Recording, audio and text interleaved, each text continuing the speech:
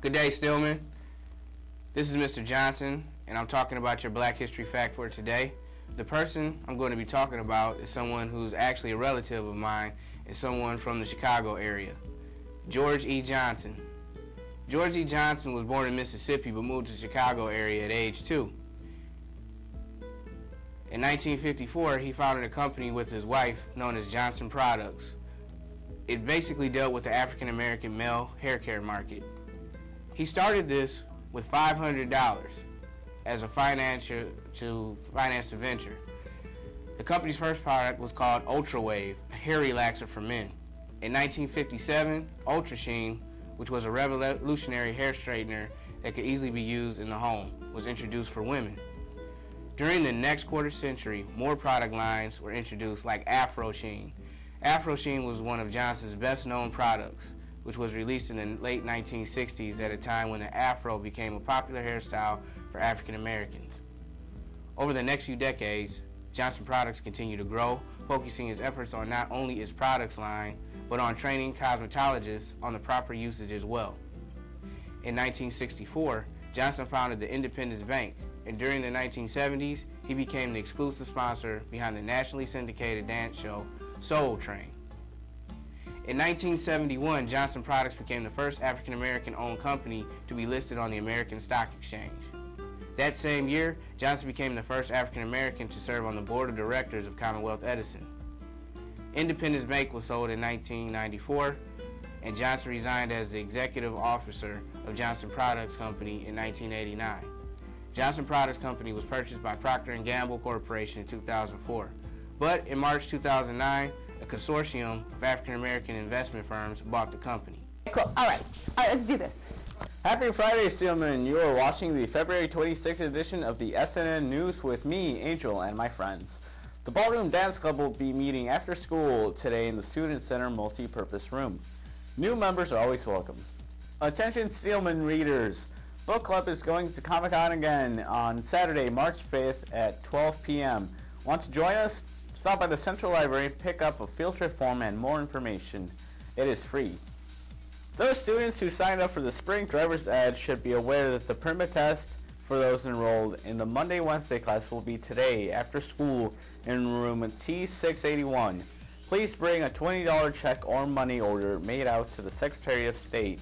And don't forget to go online to cyberdriveillinois.com to fill out the permit application before the test. Now here's T Swizzle with some more announcements. Voting for the 2016 Abe Lincoln Award-winning book will take place from February 15th through March 15th in the library. Abe Lincoln Book Award is given to the book that receives the most votes from Illinois high school students. The list of Abe books can be found in the library. You must have read at least four of the books from the Abe list in order to vote. See a librarian if you have any questions. Athletic supporters. Baseball tryouts will begin on February 29th and last until March 2nd. Freshman tryouts will be from 3.30 to 5.30 in the field house each of these days. Sophomore tryouts will be from 5.30 to 7.30 on Monday and Wednesday, and from 7.30 to 9.30 on Tuesday. Varsity tryouts will be from 7.30 to 9.30 on each of these days. For questions or for more information, please see Coach Fitzgerald in room 365. Steelman, it's not too late to buy a 2015-2016 yearbook. Just come to room 277 or the bookstore to place your order of only $39. Now here's Edgar with some more announcements. Thanks, T-Swizzle. Ladies of Steel Girl Soccer Trials will be held on Monday, February 29th. Thursday, March 2nd, freshmen will be inside from 3.45 to 5.30 in the Fieldhouse Court A.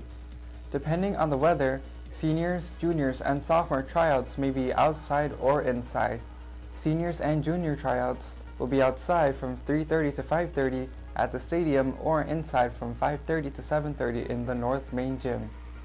Sophomore tryouts will be outside from 4.30 to 6.30 at the stadium or inside 5.30 to 7.30 in the South Main Gym. Bring outdoor and indoor clothes, shin guards, cleats, and indoor gym shoes every day. You must have an updated physical on file with the athletic office and make sure to register on 8 to 18 for girls soccer. If you have any questions, please see Coach Hammond in PE, Coach Phillips in room 119, or Coach Upjohn in room 273. And girls softball trials will begin on Monday, February 29th in the field house. Freshmen are from 3:30 to 5:30. Sophomores are from 5:30 to 7:30 p.m. and varsity is 7:30 to 9:30 p.m.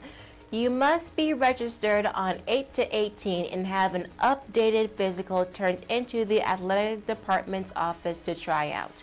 For more information, please contact Coach Douglas at edouglas at jths.org or stop by room 121. Attention Steelman! The Joliet Central girls track team has their first meet of the season tomorrow at Plainfield South at 9 a.m. Please come out and support the Lady Steelmen as they dominate the track. Also, the Joliet boys track team has an invite tomorrow at Joliet West. Please come out and support your teams.